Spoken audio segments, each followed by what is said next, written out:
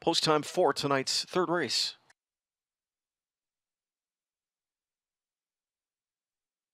Ready for a start. Often pacing. Nobody wanted to hustle out of there but Anderson Seelster. She'll take the top, and she took it easily. In at the railway second came Miss Maddie, third outside. Here's American Sarah. She'll press on now. Backed off to fourth went Naughty Lady B.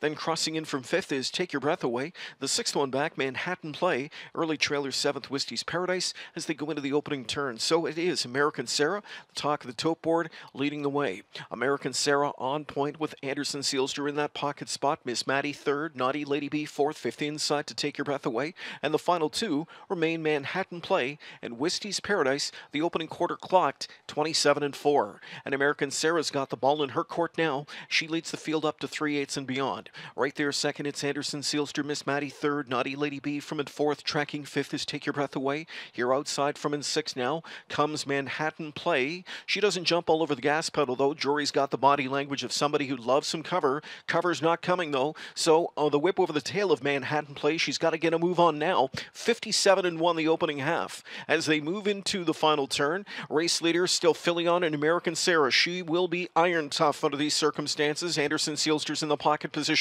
Now outside from in third, gearing up his Manhattan play. In at the rail fourth, Miss Maddie with the cover fifth outside is Wisties Paradise. Trapped in from sixth is Naughty Lady B. And seventh outside drives Take Your Breath Away. Four in, three out. Three quarters, 125 and four. They hustled that third quarter, and the final quarter will be flashier as opening up now to a length and a half advantage is American Sarah. American Sarah, Filion's all over her. Anderson Seelster with a peek at the pylons here as American Sarah drifts off the rail as she tires. Here, clad in the yellow blinkers on the grandstand side, is Take Your Breath Away. And Take Your Breath Away is coming after Anderson Seelster late. Take Your Breath Away, reaching up to win. Take Your Breath Away in the absolute final strides with a 153 and 4 score.